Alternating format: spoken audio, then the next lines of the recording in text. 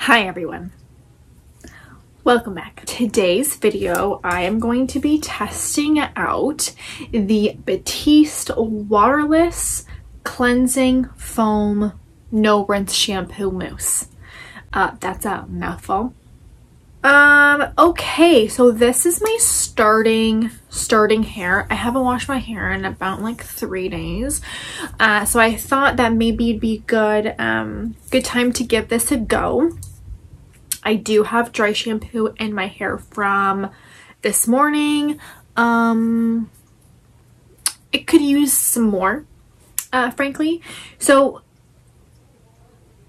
I am under the impression that this is a dry shampoo in foam. I could be completely wrong about that. So let's read this together because I just was like, oh, intriguing. Buy for video, you know? So yes, this is, again, let me repeat this.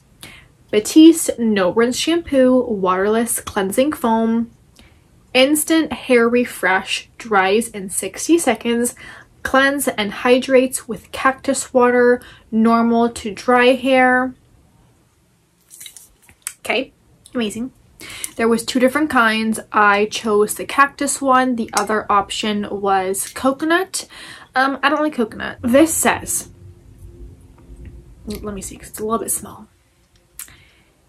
Didn't believe it was possible to have fabulous, clean, fresh feeling hair without stepping in the shower.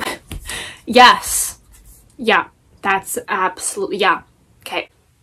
Well, now you can. Our lightweight foam formula instantly refreshes hair all over, dries in 60 seconds, and leaves no residue. Hydrating formula leaves hair feeling soft, paraben free, phthalate, sulfate, and dye free. So just for reference, one, two, three, the fourth ingredient in here is alcohol uh, so drying E, I don't know, maybe.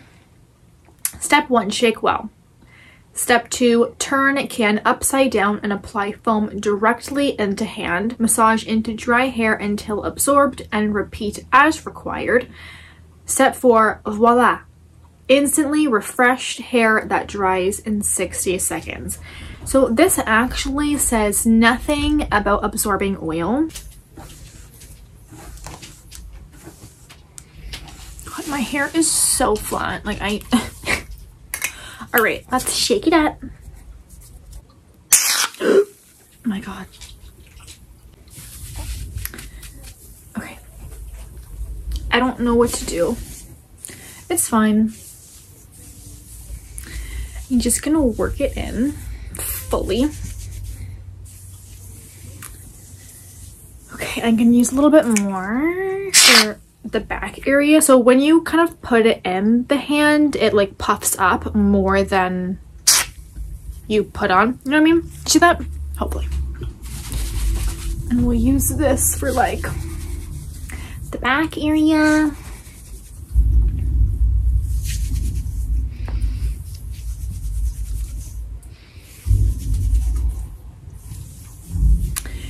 And then, yeah, I think we just keep working this in until it's dry. So I just kind of like parted my hair because I just wanted to get like a closer view. My nose, oh my god. It's so big, okay? I just wanted to kind of like show, can we see some grease over here? So there's some grease.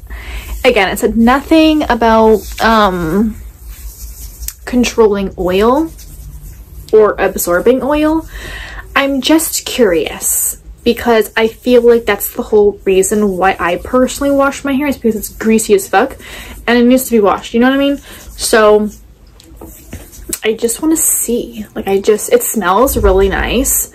Um, it definitely has like a refreshing factor to it. Like I did just kind of like wash my hair scent wise, but is it stopping there is my question. You know what I mean? Okay, so let me just, is it still greasy? I can't see.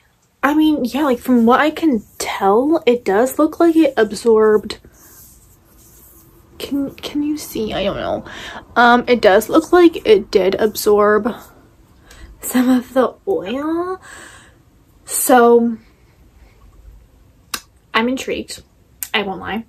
I'm intrigued because i honestly have a very big problem with actual dry shampoo because i find that i have to use the whole can um, for it to like actually absorb oil.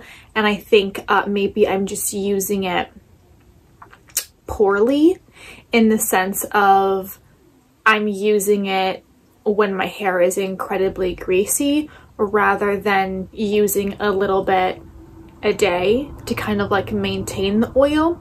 The reason why I don't do that is because I've had problems with my scalp getting itchy I'll link that over here. All right, so that's my little tiny first impression review on this. So thank you so much for watching. Don't forget to like and subscribe before you go, and I'll catch you in my next video whenever. Toodles.